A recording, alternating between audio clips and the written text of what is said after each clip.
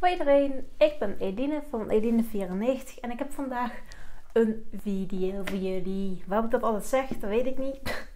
Maar um, ik heb vandaag een video voor jullie met um, boeken. Het is begin mei als jullie deze video zien. En jullie zullen hebben gemerkt dat de afgelopen tijd het een stukje rustiger is geweest op mijn kanaal. En dat ben ik nu aan het inhalen door twee video's op één dag te uploaden. En dat zullen misschien ook al gemerkt hebben. Mocht je dat niet gemerkt hebben, dan heb je hier de uitleg. um, ik wil eigenlijk één keer in de zoveel tijd, want ik hou heel erg van lezen, wil ik een Books I've Read video voor jullie gaan opnemen. Ik heb die al eerder opgenomen, maar die is nooit online gekomen omdat het in een periode was dat mijn um, laptop kapot ging. Dus dat is sad. um, maar vandaag heb ik zeg maar, de boeken die ik de afgelopen tijd heb gelezen. Het is nu wel wat lekkerder. Ja, op het moment dat dit film niet. Maar het um, eind april is het wel wat lekkerder weer geweest. Zo rond de paasdagen en zo. En ik hoop dat mei ook weer heel mooi gaat worden. Dus dat ik ook weer wat meer video's kan opnemen en zo. Of wat zeg ik nou weer? Dat ik wat sneller een nieuwe video kan opnemen van Books I've Read. Omdat ik dan uh, meer heb gelezen drie boeken uitgelezen. Ik, het eerste boek wat ik heb uitgelezen, dat heb ik nu uitgeleend aan mijn moeder. Uh, dat is dit boek. Ik zal hier een afbeelding plaatsen. Het is uh, dingen die je alleen ziet als je er tijd voor neemt. Ik ben daar denk ik in februari mee begonnen. En het is een boek wat je niet in één ruk zeg maar, kan uitlezen. Ja, zal wel kunnen, alles kan. Maar wat aangeraden wordt om het niet te doen. Um, ik hou niet van spoilers, dus dat ga ik ook proberen niet te geven. Ik ga de dingen die ik zeg, ga ik alleen baseren op wat er op de achterkant staat en de mening erover geven. Het is geschreven door een boeddhistenmonnik.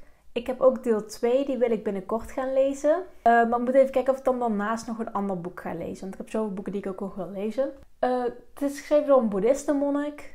En ik ben even de naam kwijt, maar ja, zien jullie hier op het plaatje van het boek. En het zijn eigenlijk... De titel vind ik persoonlijk niet per se kloppen. Want het zijn niet dingen van... Neem even de tijd en zie dat je ook kan genieten van een kabbelend beekje. Zoiets. Wat ik zeg maar, weet je, de dingen waar je echt even bij stil moet staan dat de wereld toch wel ook zo'n mooie kanten heeft. Eén ding wat erin staat gaat over seizoenen. Dat ieder seizoen eigenlijk ook een beetje een, zijn kenmerken heeft. Um, ik wil afgeleid. en dat zat er wel in. En dat vind ik zelf ook. Daar ben ik heel erg van mening. Dat je gewoon moet genieten van iedere dag en ieder seizoen. En ja, oké, okay, wij hier in Nederland en in bijvoorbeeld ook in, in, in Engeland en zo, we hebben dat iets minder. Dat echte seizoenen heel duidelijk. Want bij ons gewoon bijna het hele jaar door herfst. Um, maar op zo'n moment dat het laatst zo lekker weer was en dat ik buiten zat, het boekje te lezen op het balkon. En ik echt dacht van, oh, ik kan er zo van genieten. Dus dat eigenlijk eerst een stukje tekst en dan krijg je allemaal van die stukjes. Dingen waar je over kan nadenken, zeg maar. Um, ik vond het wel een heel interessant boek. Dus ik ben het lang niet eens met alles wat erin staat ik moest ook ergens wel een beetje denken aan het stukje van Marie Kondo. Dat boek heb ik natuurlijk ook gelezen. Daar heb ik mij toen op mijn blog een Books I've Read of boekreview van geschreven.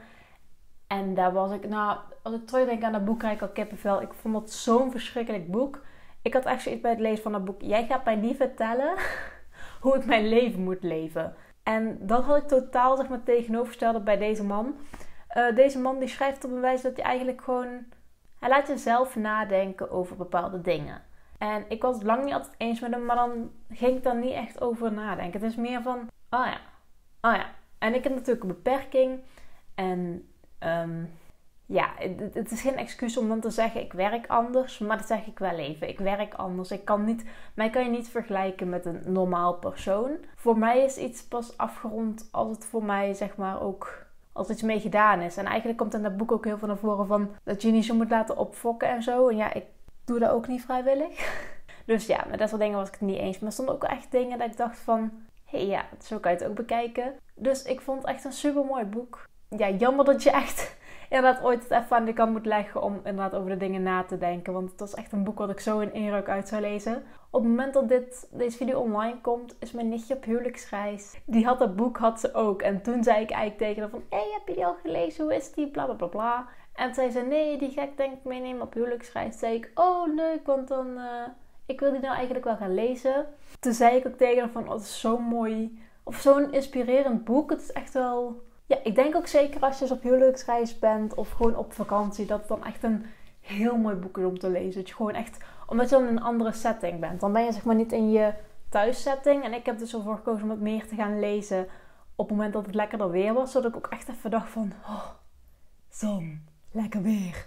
En niet dacht van, oh. Ik had één momentje dat ik dacht, mm, en dat was toen ik buiten zat en er ergens van die hangjongeren waren die keihard lompe muziek aan hadden staan, waardoor ik eigenlijk niet meer kon volgen wat ik aan het lezen was. Oké, genoeg over dat boek. Verder heb ik twee baantjesboeken en deze zijn gewoon echt heerlijk om te lezen. Die lees je gewoon in 1, 2 dagen, lees je die gewoon weg. Ehm, het eerste boek is um, nummer 84 en dat is het nieuwste boek tot nu toe. Uh, Baantje de Kok en de Zwarte Weduwe. Um, ja, ik vond het wel een mooi boek. Mm, redelijk voorspelbaar, I guess. Maar ja, weet je, ja, ik, gewoon zin in. Ik vind Baantje gewoon heerlijk om te lezen en ik kan al niet meer wachten om volgende Baantje boeken te kopen ja, ik word er gewoon heel enthousiast van. Het is gewoon een heel leuk boek. Lekker weg te lezen. Ondanks dat het voorspelbaar is, ja. Als op het moment van filmen is de nieuwe Baantje film, oude Baantje film, de Baantje film het begin in de bioscoop. En ik kan echt niet wachten om daarheen te gaan. Ik ga er, denk dat op het moment dat deze video online komt, ik er al geweest ben. Dus um, ja, zin in. Wel af en toe een beetje, een beetje cru. Ook leuk dat het geschreven is door Peter Reumer. Is zeg maar ik heb hem ook gezien. Ik ben naar Baantje in het theater geweest een hele tijd geleden. En dat was de try-out. En toen speelde hij Buitendam. En ja, het is wel grappig dat je dus ook die persoon gezien hebt. En hij is volgens mij de zoon, nee, de, nee, de broer van Piet Reumer. Dus die de kok speelde. Dus dat is echt super grappig. En het boek wat ik nou net uit heb is nummertje 81. Iets dikker heb ik het idee. Ja, iets dikker. Dan de Zwarte Weduwe. Uh, de Kok en een Duivels Dilemma. En de titel vind ik... Moi. Uh, zoals ik al zei, ik ga niet spoileren. Uh, deze gaat over een... Hier is zeg maar al iemand dood. En die kent de kok zelf. En hier is zeg maar gewoon... Wel weer iets wat ook weer kenbaar is. Want ze hebben het dan over een voetbalclub waar het zoontje van Keizer speelt. En daar wordt dan weer iemand gevonden, zeg maar. Dus het is wel weer maar um, ja, deze was iets minder voorspelbaar dan deze. Ik had hier al best wel snel het idee hoe de vork in de steel zat. Aantal dingen die ik best wel dacht van ja, maar waarom komen jullie hier nou bij? Maar niet cringy dat je denkt, ah, zie nou iets. En um, ja, gewoon super tof geschreven. Ik hou heel erg van baantjeboeken. Dus um, ook fijn als een boekje zeg maar zo tussendoor. Dus als je bijvoorbeeld echt een dus ik had echt zoiets van: ik wil nu niet gaan beginnen aan een thrillerboek, een dikke thriller. Want ik wil gewoon even, even snel lekker iets lezen. En dan is zo'n boekje gewoon top. Dus um, ik kan niet wachten op 82 en 83. Om die, uh, ik denk dat die deze maand wel ga kopen, lezen. En um, ik heb nog genoeg andere boeken liggen. Dus ik. Uh, dit zou wel zo'n typisch boekje zijn om ze tussendoor te lezen, zeg maar de dingen die je neemt als je tijd voor hebt, tijd voor neemt. En het andere boek wat ik dus nu ga lezen is dingen die niet perfect zijn of zo. Dus ik ben benieuwd of ik daar doorheen kom. Meestal vind ik een tweede deel altijd niet. Dus uh, ja, dit was de video. Ik hoop dat jullie het leuk vonden. Bedankt voor het kijken en tot ziens. Doei!